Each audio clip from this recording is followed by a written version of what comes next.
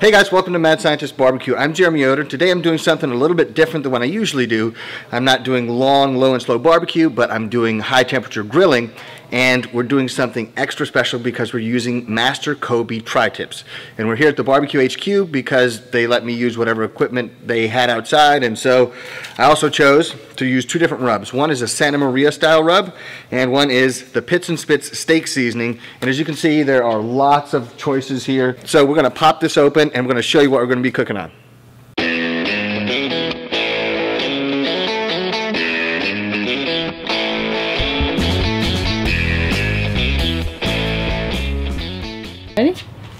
I was born ready.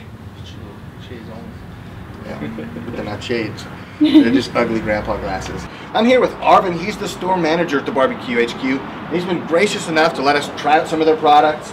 And we got two grills here. And so, Arvin, can you tell us about what we got going on? Yeah, so today we got the Joe Tisserie Insider Big Joe, Kamado Joe, Generation 3. Uh, so the Joe Tisserie is just an insert that you can get an accessory upgrade. So you can do some rotisserie, chicken, tri-tip, whatever you want to put on there. Do you know how much weight it Um, can hold? Can you do like a whole turkey or something in there? I believe, yes, you can. Oh, Uh, Do okay. a whole turkey, uh, if I am correct. Uh, and so from the Joe Tisserie, set up in the Kamado Joe, we got the Kettle Weber. Uh, so Weber makes a 22 inch insert for your uh, Weber kettle, and uh, it's a rotisserie setup. So we're gonna play with that today as well. All right, so the next step is to light these guys up. And to do that, Arvin's to show us how it's done.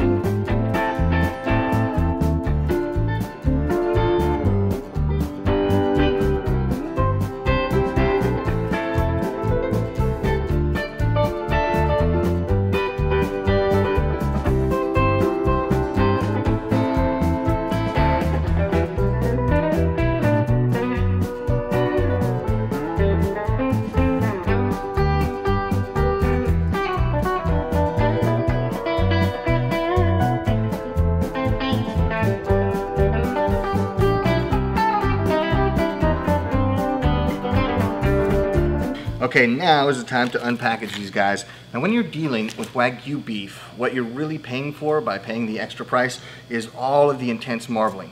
Now with tri-tip, it can tend to be kind of a leaner cut. It's not gonna be fatty like a ribeye. But if you get Wagyu, and these are from, I believe, 100% Wagyu cattle, if you get Wagyu, there's so much intramuscular marbling that every bite is gonna be moist. And so that's why these are special, and that's why we're cooking them today. So let me open these up and we'll take a look at exactly what kind of marbling it's got.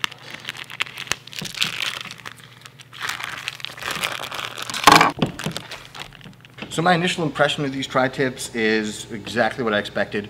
Ridiculous next level marbling, something you don't see in any kind of commodity tri-tip you're gonna buy in the grocery store, which is exactly why these are special. So I'm looking at the side of this one and there's just marbling everywhere. Now these guys are already pretty well trimmed. I mean, there's very, very little you have to do, and they don't leave any kind of fat cap on it because with so much intramuscular marbling, you don't need a fat cap to protect the meat from getting dried out. So I have just a tiny bit of silver skin on this side. If you guys can see what I mean, just, just that stuff right there, I'm gonna trim that off. That's gonna be a tiny bit of meat that comes off, and then we're ready to season it up and get going.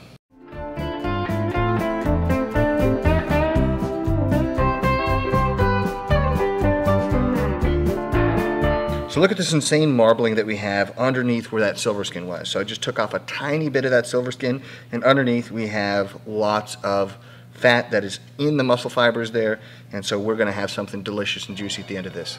Now with these pieces of meat, because there's great beef flavor, we don't want to overpower it with a crazy rub with tons of different seasonings, so we're gonna keep it pretty simple. So we're using the Pitts and Spitts steak seasoning because it's meant for steak, and so we're gonna treat this much like a steak. And then also the Santa Maria style seasoning because the quintessential flavor in that part of California where they do this cut of meat would be those seasonings. And so we're gonna try them both and kind of evaluate which one is best, but we're letting the meat shine through, we're letting the flavor of beef be the star.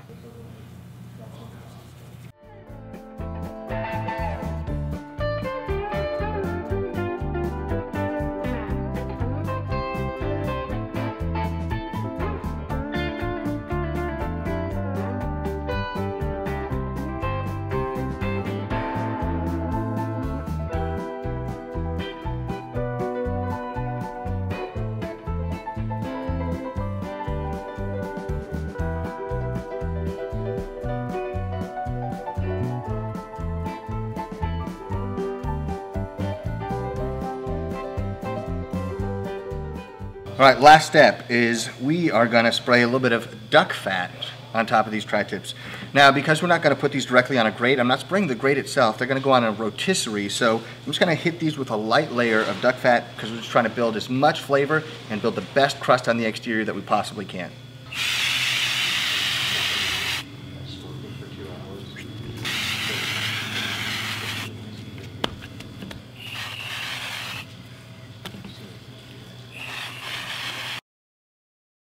Now, I'd never actually encountered like an aerosol duck fat before, um, but I've tried it. Uh, a few weeks ago, they had an event here, and I can tell you guys that it's super awesome. Get yourself a can of this. I don't know where you can get it, but I know you can get it here.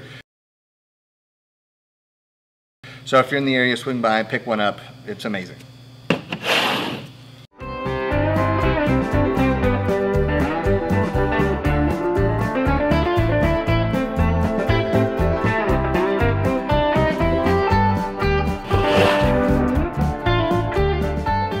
Seasoned up, skewered up, time to put them on.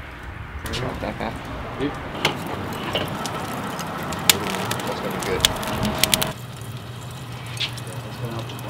Yeah, that's gonna be real good.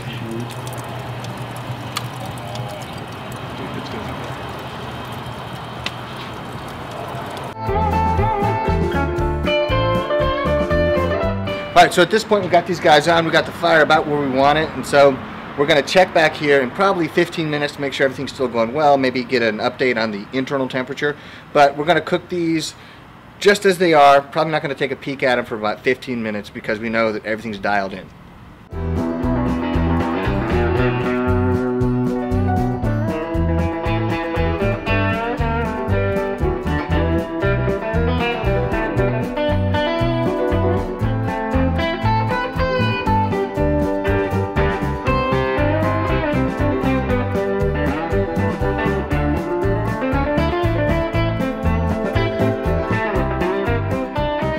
All right, so we hit the temperature we're looking for, 130. We're gonna pull this guy off, and I may have been talking too long already. I think we need to turn this thing off though, hold on. Okay. And then, boom. Tri-tip on cutting board. Then we let it rest.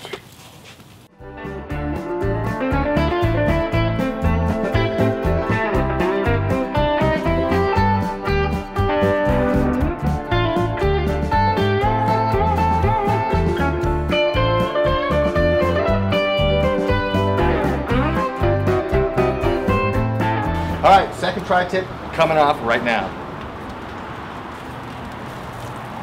Go. Very hot. Yes. Very hot. Look at that. Caramelizing all the juices. Uh, all the Yeah. bubbling, man. That's where it's at. Oh, that's gonna be so good.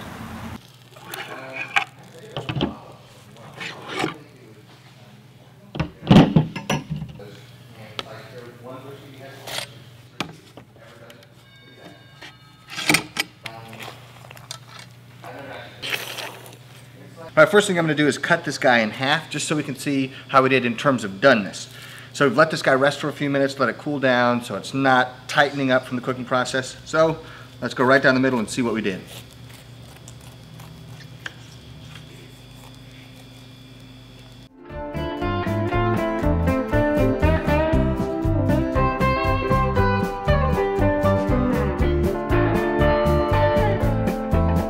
Right, we'll see what the taste is like. One thing that's been great is that we've been able to get a really good crust on these.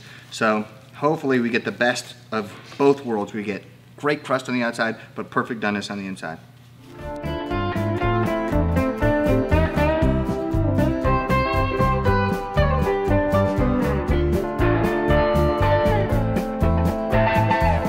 So the good thing about both of these tri-tips is we found out we can get a great crust on the exterior and it can be full of moisture on the inside.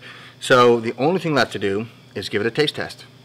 All right, Santa Maria style seasoning, great crust on the exterior. It's so much intramuscular marbling that every bite, even the ones that are maybe more than would normally be how well done you would want your meat, um, it's just packed with juice. So I'm looking forward to this.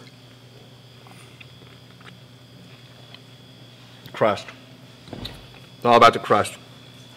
It's like the seasonings and you get a little bit of crisp from being over that open coal. That's good. All right, next one.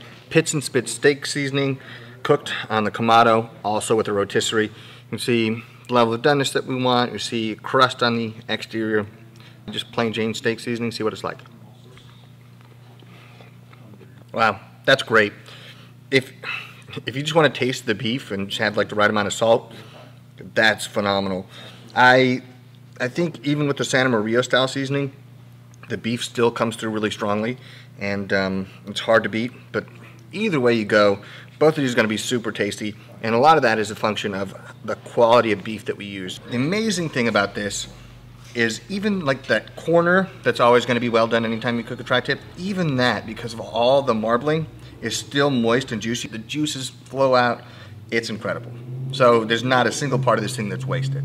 I'd encourage you guys to get out there, try this. You'll be glad that you did. You get all the beauty of a steak and you get the perfect medium doneness or medium rare or whatever kind of doneness you want on your steak. You have complete control over it because it's a more drawn out process because it's a big chunk of meat. So Wagyu is special for a reason. Get out there and try it. Thank you for watching Mad Scientist Barbecue. I hope you guys enjoyed this video. If you did, hit the subscribe button down below, and you can also turn on the notification bell so you get updates whenever I post new videos. But until next time, I hope you guys keep barbecuing and keep experimenting. So I'm here with Arvin, the store manager at the Barbecue HQ, and he's been gracious enough to let us come and play around with some of the equipment and try some stuff out. And so, Arvin, can you tell us about what we're going to be cooking on today? It looks kind of like some really cool stuff. I noticed some electronics going on. What's what's the deal here? All right, so we got our uh, Kamado Joe, Big Joe, Generation 3, and then inside we have the Joe Tisserie uh, set up in here. So uh, all it is is just an insert.